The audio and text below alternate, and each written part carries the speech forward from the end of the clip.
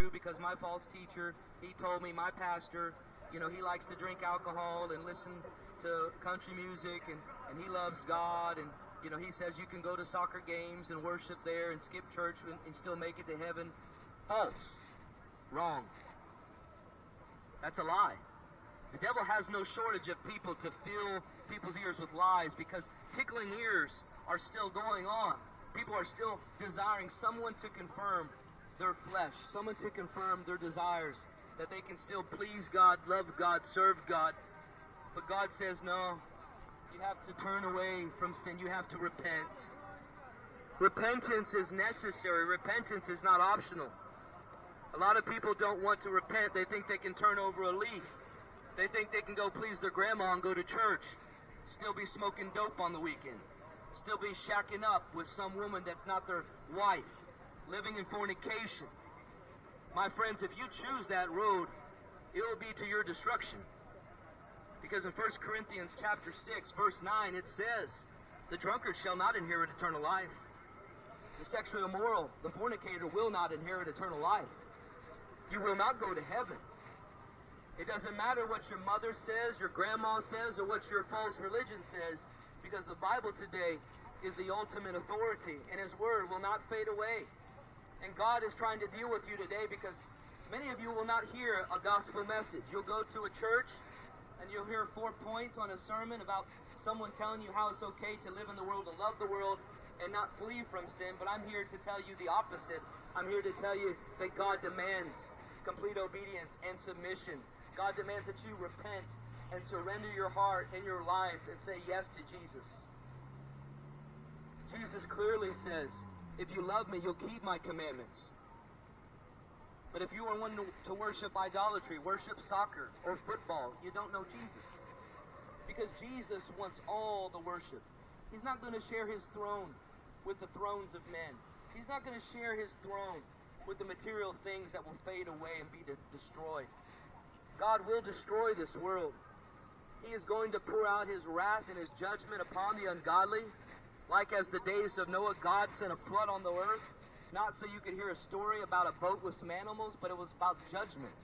Because men had corrupted themselves. Violence covered the earth. The sad thing is, is today, many of you love violence. You like to watch ultimate fighting. You enjoy boxing.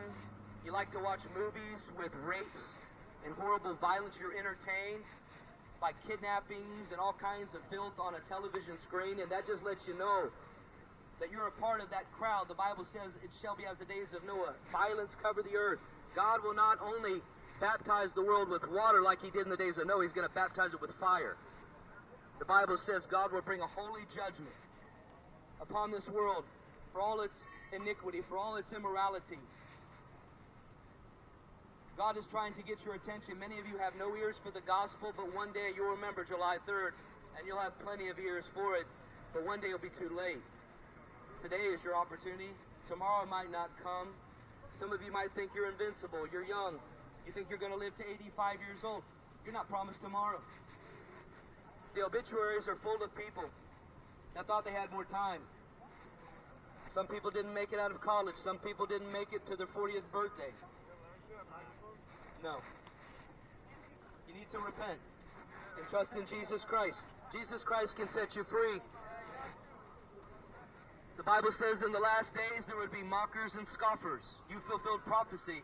One day you'll remember July 3rd. Either you'll remember it to your salvation or you remember it to your destruction.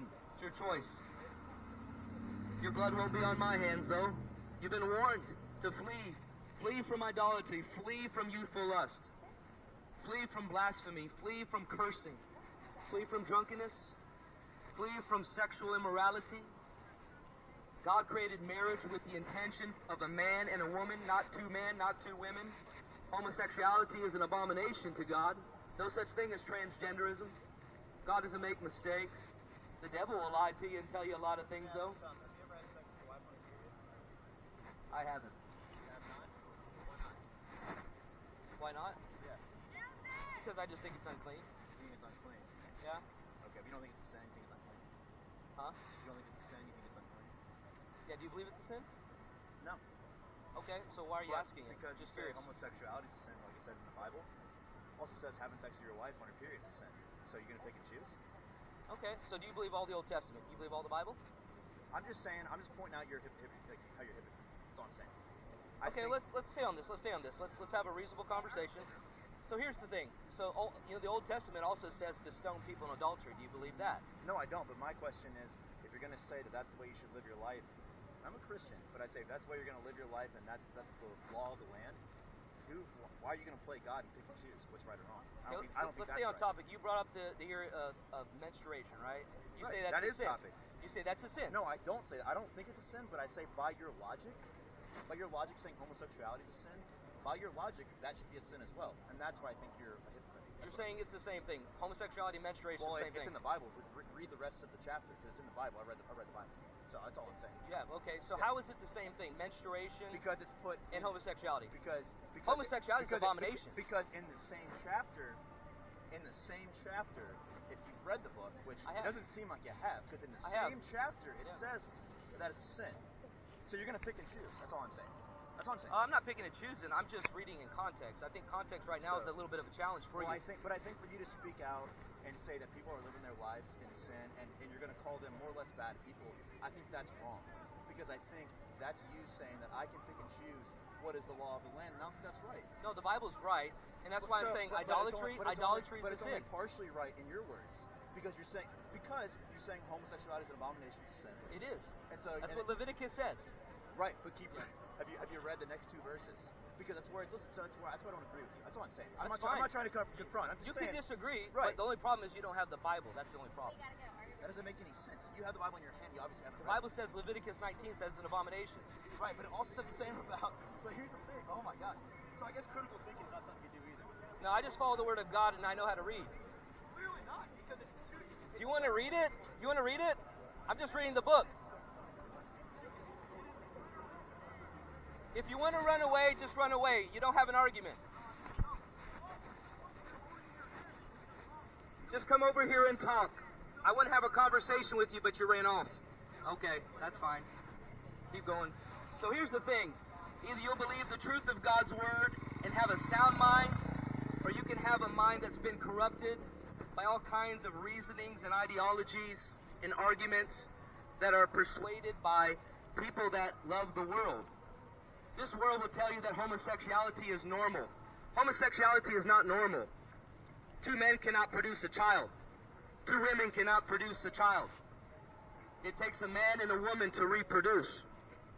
That will let you know that that's against nature. God says it is an abomination. And God says that today that you can know the truth, that you can be set free, that you can be in the righteousness of Christ and be pure and holy. There's all kinds of illogical things that people are holding to. But Jesus Christ, he can he can fix anything. He can fix people's minds that have been just infiltrated by the lies of the enemy and he can break loose those chains and all those arguments that the enemy has brought. He can set free. It's not too late for you. Some of you are sitting on the fence. You're sitting in between the valley of life and death. Some of you are saying it sounds good. Maybe you heard it from someone, but you're still not committed.